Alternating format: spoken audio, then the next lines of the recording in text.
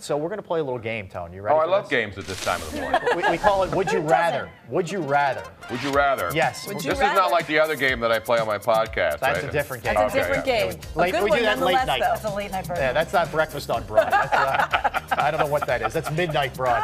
Hello there. All right. So Is this we're- thing on? Yeah, we're going to give you two options, Tony, and Okay. you, you have to pick which one you'd rather have, essentially. All right. Easy. Here we go. Sean McDermott, Sean Payton.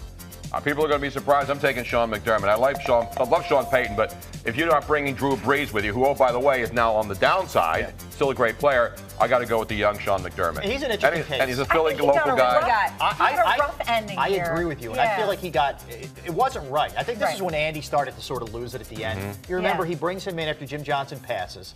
He gives him essentially one year, mm-hmm. and then blows him out of there, and then Brought in Juan Castillo. But you, you Yeah. know what the thing about McDermott is, though? You type his name on Twitter, and it's like you typed a dirty word. People, fans are not in Well, it love was- with it the was- idea See, I- I- of bringing. I- I I'm with you. I I'm with you, Rob. I think he got a raw deal at the end. And Todd have a- Bowles too. Remember Todd Bowles? Look what Yeah. he's Goes- done. and now look, he's the head Goes coach of the Jets, and they're Goes playoff Cardinals. bound. Yep. yeah, yeah. Great defense of the Cardinals, and then you look at that was an interesting. You brought up the Jets. That's an interesting new GM, new coach dynamic that maybe the Eagles should take a look at to see how they work together because Yeah. that's something they're going to have to go for. But yeah, Sean McDermott I think is a really good choice. Yeah, I I was well looking done, for a strong Tony. voice. Well, thank you. You asked me the questions, I give you the answer. I like it. This one is uh, is is one choice and one fill in the blank almost. Sam Bradford or anybody else.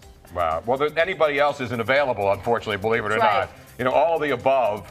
Uh, Bradford, to me, I thought he played well. And I think if you work on the offensive line and you don't ask him to do things that he can't do, which is try to run, which he doesn't do for the most part, and you get a good line, you get a running game, he's fine. He, if he runs play fine. action, Serviceable. the guy is- exactly And we saw that the guy has touch and he can make the nice throws. If he gets guys open, he gets the ball to them. So, I, I you know, and the question now is, will Sam Bradford want to come back with Chip gone? And yeah, depending on what system it is. He Right. he even said that yesterday. Hey, I want to be here, but uh, it depends on another what the system. system is, and I've been Yeah. through this my whole career, and it could be the same thing. All right, win or lose on Sunday against the Giants. Wow. Should be London or no on. It depends on how much you want to go to London and Yeah. overpay for everything and you know get to do that and play over there.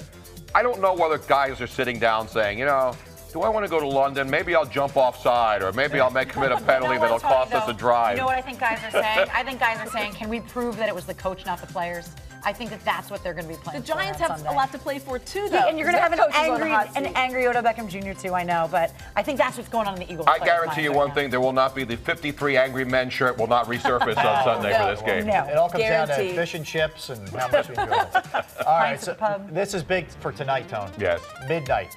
You going champagne or a shot? You going old school or a little champagne? Why not both? Why not a shot with a champagne chaser?